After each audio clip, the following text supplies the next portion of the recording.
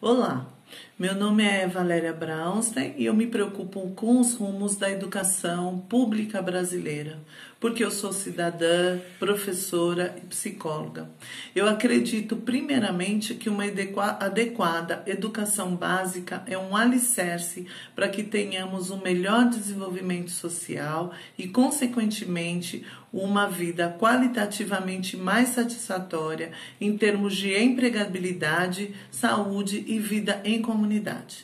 Em minhas andanças de 30 anos de profissão como psicóloga e professora, eu pude perceber claramente que a educação com qualidade não se faz com a boa vontade docente gizilosa. Às vezes, em alguns locais, nem gizilosa a gente tem.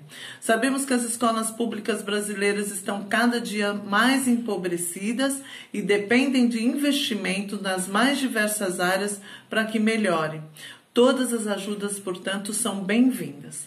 Com a aprovação da lei que traz obrigatoriedade da colaboração de assistentes sociais e psicólogos nas escolas, precisamos de recursos para subsidiar esse trabalho.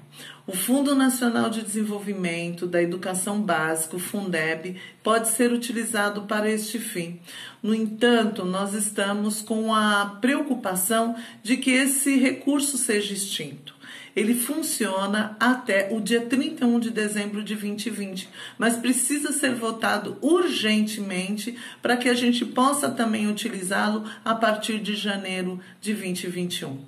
Como podemos fazer então? Você entra no site do Conselho Federal de Psicologia uh, e acompanha a campanha Vota Fundeb. Lá você tem um link onde você pode escrever para um parlamentar pedindo para que seja votado ainda nesse primeiro semestre de 2020, para que a gente não perca esse recurso.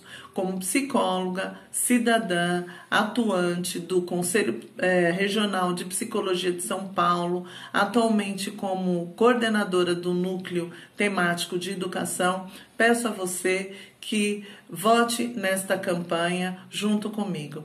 Hashtag Vota Fundeb. Muito obrigada.